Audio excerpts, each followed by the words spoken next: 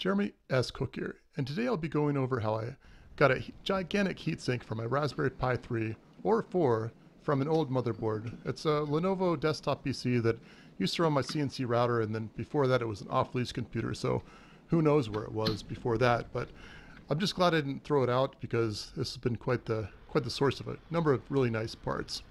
Well, I wanted this to be huge. My first task was actually to cut it down so it would go between the camera port and the GPIO pins.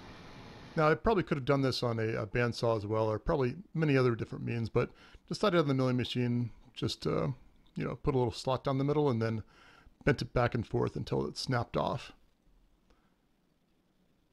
After that, I put it on my bandsaw to, to smooth it out a little bit and even did a little bit more work on the milling machine to get it nice and smooth.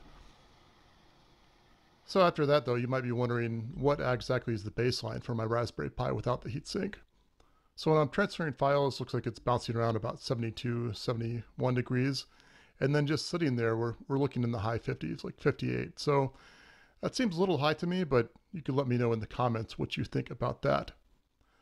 So that, that being said, the Raspberry Pi, the processor itself has about a, about a quarter, quarter square inch of surface area without any sort of heatsink.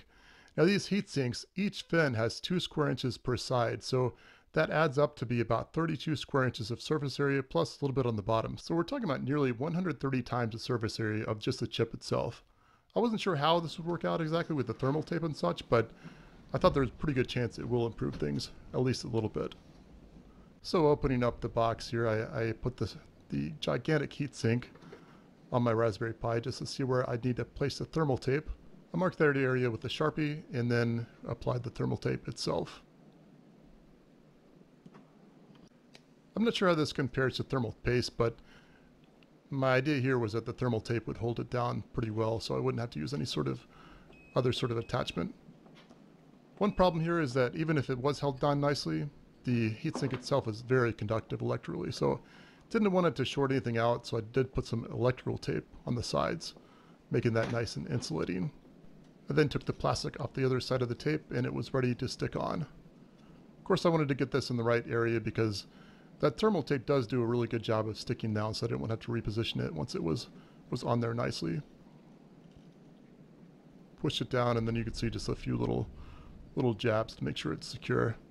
After that I close up the Pi's case which is for my uh, NAS setup that I made earlier. Incidentally it's from the same Lenovo desktop that I got the heatsink from. So thought that was kind of cool. So after all that is done, just sitting around, it's, it's about 50 degrees Celsius. Pretty good. Pretty good. Uh, let it settle down a little bit more and then it's about 52. So doing nothing about 52, but obviously doing nothing is not what we want. I then tested it when it was transferring files, and as you can see here, it, it works out to be about 54 degrees, maybe 56, 57, once it gets settled down. You were talking about about a 15 degrees Celsius improvement, which works out to be right over just over 30 degrees Fahrenheit. So pretty good, pretty good improvement. I'm pretty happy with how that turned out, considering I'm not using any sort of active cooling, any sort of fan, whatever. So pretty happy with this. Uh, I guess it's obviously a, kind of a hilariously gigantic heatsink, but hey, I, I thought it looked cool and nice to recycle something. Here's the Pi in action. It's still, the heatsink is still a little bit hot to the touch, or at least warm. Overall though, I'm quite happy with how this project turned out. If you liked it, I'd invite you to give me a thumbs up, subscribe, or even leave me a comment. So thanks so much for watching. This is Jeremy S. Cook, signing off.